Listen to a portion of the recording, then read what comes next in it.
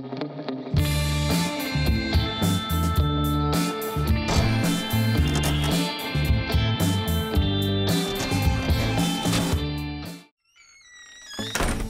tal amigos? Me alegro mucho mucho de que estéis ahí. Bienvenidos a este canal.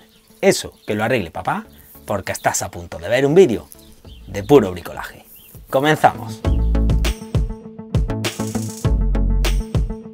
Bueno amigos, y como siempre, antes de comenzar el vídeo os explico un poco sobre qué va. En esta ocasión, como habéis visto en la intro, va a tratar del termómetro láser por infrarrojo. Por desgracia, va a formar parte de nuestras vidas, a partir de ahora, en muchas tiendas, antes de entrar, utilizarán uno como este para medirnos la temperatura.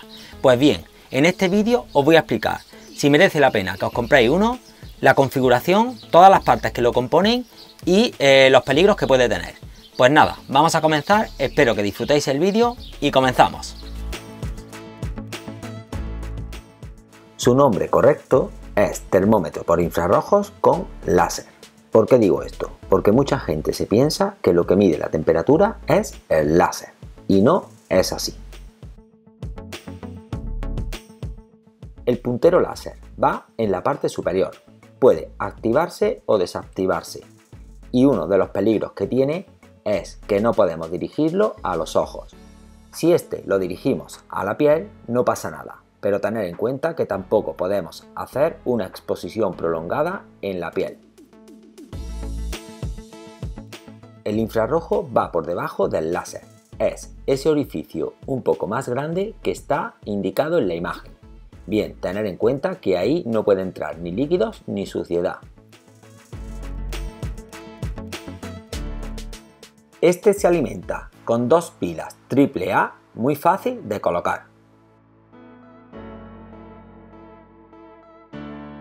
Otro aspecto a tener en cuenta es la distancia de enfoque. Este termómetro tiene una distancia de 12 a 1. ¿Eso qué quiere decir? Que si el cuerpo que vamos a medir mide un metro cuadrado, nos podemos alejar hasta 12 metros. De todas formas, la distancia normalmente recomendable para medir cualquier objeto cotidiano es de unos 20 o 25 centímetros de separación. Y por último, a la pregunta de si interesa comprarlo o no, yo creo que sí, porque por las prestaciones que tiene y el precio que tiene, que abajo en comentarios te dejo un enlace para que lo veas, creo que interesa tener uno.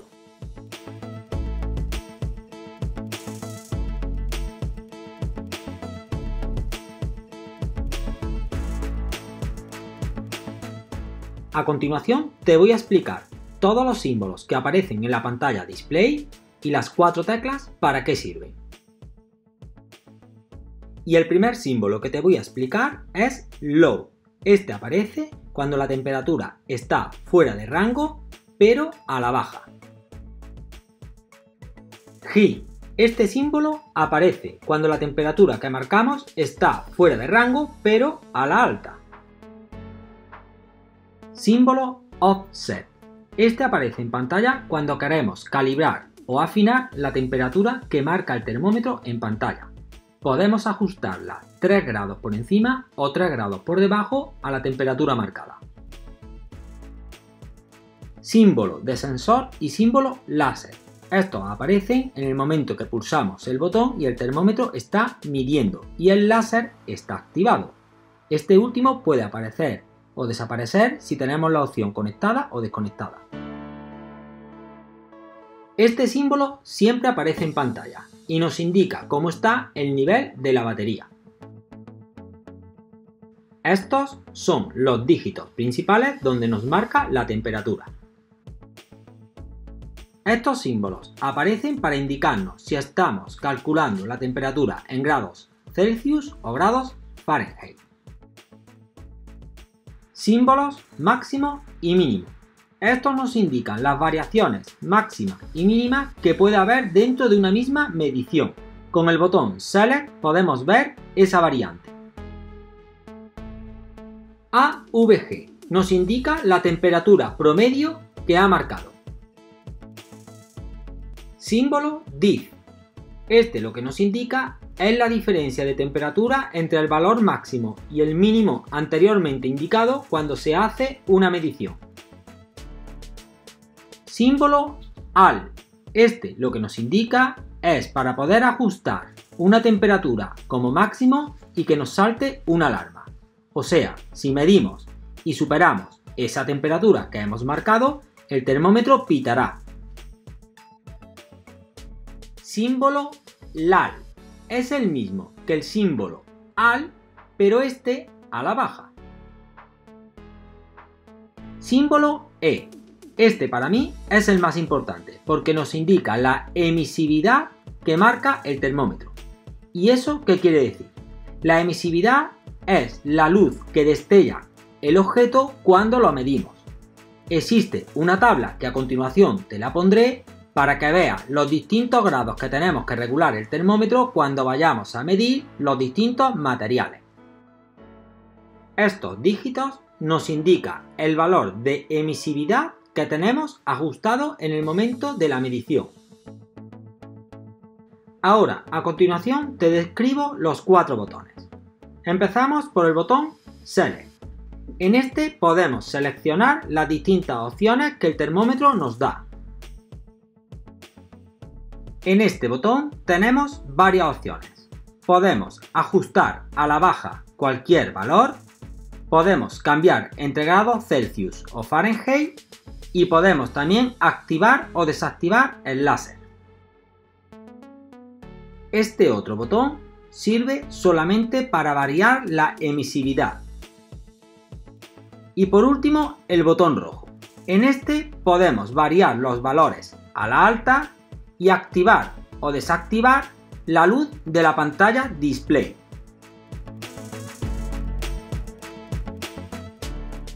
Una vez que ya sabemos todas las funciones del termómetro, lo primero que tenemos que hacer es ajustarlo para que mida correctamente. Para ello lo que voy a hacer es poner a hervir agua y como el agua sabemos que hierve a los 100 grados, pues voy a hacer la medición. Mediante la tecla Offset podemos variar 3 grados arriba o 3 grados abajo la medición que nos dé. Ajustamos primero el termómetro a la emisividad del agua y ya podemos medirla. Y mientras termino de ajustar el termómetro y como las imágenes van de ollas y vitrocerámicas, aunque no es la temática de mi canal, el bricolaje, os recomiendo que os paséis por el canal de un amigo que hace recetas de cocina caseras, muy ricas y fáciles de hacer. Se llama Las Cosas de Javi. Si además del bricolaje os gusta la cocina, pasaros por este canal porque creo que os vais a suscribir seguro.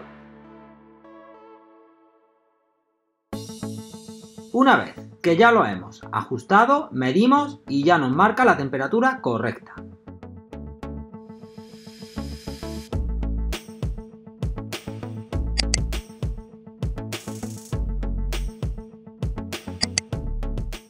Y ahora, como ejemplo, para que veáis cómo funciona, vamos a medir dos materiales bastante diferentes. Lo primero que tenemos que hacer es ajustar la emisividad. En este caso, la emisividad de la madera es 0,95 Medimos y nos da 27,7.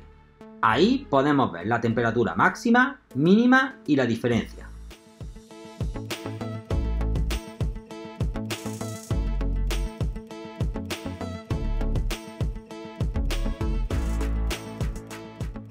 Ahora, el siguiente material que voy a medir es aluminio. La emisividad de este material según la tabla es muy baja. Lo ajustamos y seguidamente ya podemos medir y, como anteriormente, podemos ver la temperatura máxima, mínima y la diferencia.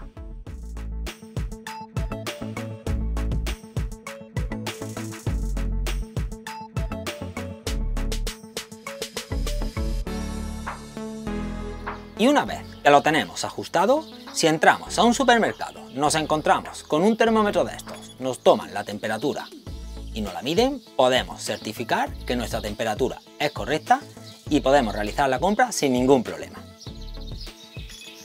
Bueno amigos, espero que os haya resultado entretenido el vídeo, que cuando veáis un termómetro de estos sepáis cómo funciona y qué características tiene y nada, lo único que me queda ya es despedirme.